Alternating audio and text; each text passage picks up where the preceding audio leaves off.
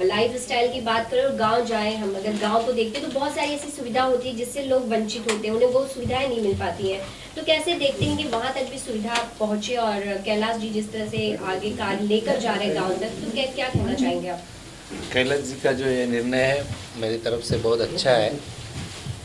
अब मुंबई जैसे develop city में तो सब सुविधा सबको हर एक भाई को अपने मिलती है, पर गाँव की तरफ़ जो आरोग्य की सुविधा है, शैक्षणिक बाकी की हैं, जो भी हैं तो बहुत सारी कम नज़र आती है। वहाँ से लोग वंचित है उस सुविधाओं से। तो कैलाश जी का जो निर्णय है, बहुत अच्छा है। मैं उनको दिल से शुक्रगुजार हूँ कि उन्होंने गाँव के बारे में सोचा, जबकि बॉम्बे में रहते हुए उन्हें उनका गाँव पैरा है। तो ऐसे जैसे कैलाश जी ने निर्णय लिया है, ऐसा हर एक अपना जो बाहर से, गाँव से मुंबई में आया है वो ऐसा सोचने लगेगा तो गाँव भी पीछे नहीं रहेगा सबको सुविधा मिलेगी। तो कैलाश जी को मैं उनके कार्य के लिए शुभकामनाएँ देता हूँ। राठौर जी कितना अपने गाँव से प्यार करते हैं और आप भी बहुत सारी पोस्ट आप अपने काम के सिलसिले में आपका भी जाना होता होगा गाँव में तो कभी आपने ऐसा देखा है कि आपको देखकर लगा हुआ ये इतनी बड़ी समस्या क्यों नहीं सॉल्व हुई है? जनता के लिए क्यों इतनी बड़ी समस्या बनी हुई है? हालाँकि ऐसा है कि अपनी जो सुविधा है गवर्नमेंट की तरफ़ से तो हर जगह लॉन्च होती है पर उसका प्रॉपर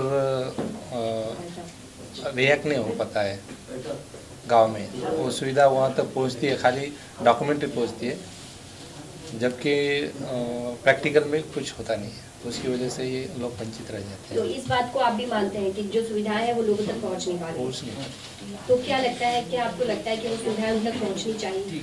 जी ज़रूर पहुँचनी चाहिए उन उन सुविधाएँ का उनको लाभ मिलना चाहिए जो उनके हकदार है।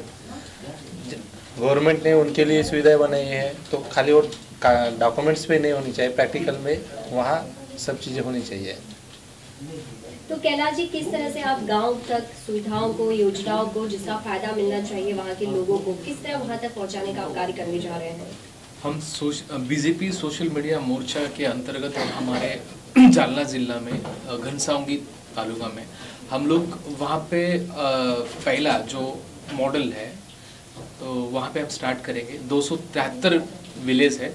दो सौ तिहत्तर विलेज में जितने ही गवर्नमेंट सेंट्रल गवर्नमेंट और स्टेट गवर्नमेंट की योजना है, वो हम आम जनता तक पहुँचने का काम कर रहे हैं। हमने एक मॉडल बनाया है, पाँच एंबुलेंस पाँच डिजिटल कार्स उसमें एंबुलेंस में पाँच एम डॉक्टर्स नर्स रहेंगे और पूरे गाँव में दो दिन होल्ड का एक हमारा यूनिट रहेगा। उस उस यूनिट ने वहाँ पे जितने ही नीडी पुअर पीपल को किस तरह से उनकी समस्या है, उसके ऊपर हल किया जाएगा। वहाँ पे free of cost medicine medicine free of cost काफ़ी चीज़ें जो लगेगी, जो वहाँ के गाँव के पुअर पीपल है, उनको हम लोग वो हेल्थ फ्री कैंप वहाँ पे ले रहे हैं। तो जो गाँव की संख्या दो आपने बताई है तो लोग भी ज़्यादा होंगे ज़िम्मेदारी ज़्यादा होगी तो किस तरह से टीम होगी और किस तरह से आप उस कार्य को सफल तरीके से कर पाएँगे? हम लोग क्या आ, हर गाँव में आ, हमारी जो वैन रहेगी एंबुलेंस वैन उसमें सारे इक्विपमेंट्स मेडिसिन सब रहेंगे हम लोगों ने ऑलरेडी ये तीन महीने से हमने प्री प्लानिंग किया है। हर गाँव में जाके किसका क्या प्रॉब्लम्स है वहाँ पे कैंप लेंगे हम मेडिकल कैंप लेंगे फ्री ऑफ़ कॉस्ट लेंगे। और वहाँ पे जितने ही वंचित लोग हैं जो योजना से तो उनका फॉर्म्स भी दिया जाएगा। मेडिकल का दो टू लाख का इंश्योरेंस किया जाएगा। टू लाख का मेडिक्लेम दिया जाएगा।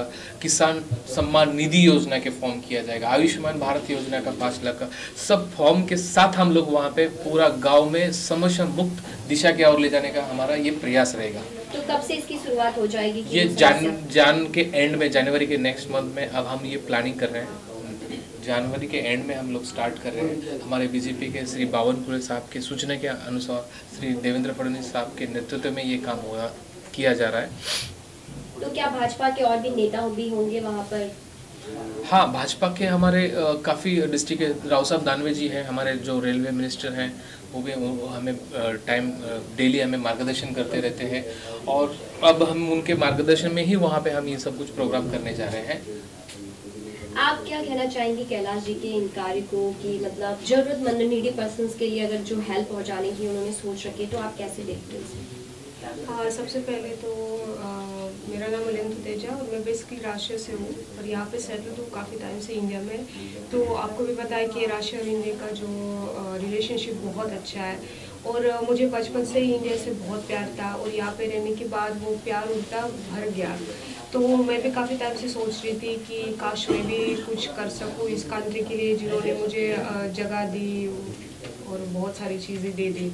तो अभी जब से मेरी मुलाकात कलश जी से हुए, मैंने देखा कि ये भी सोशल वर्क कर रहे तो मैंने उनको ज्वाइन किया और अभी इनके साथ हम सोशल वर्क करने जा रहे हैं। तो मैं उनको बेस्ट विशेष देना चाहूँगी कि वो कामयाब रहे, हम कामयाब रहे।